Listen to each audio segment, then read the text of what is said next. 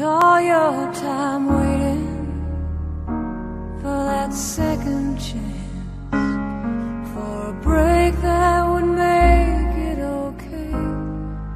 There's always some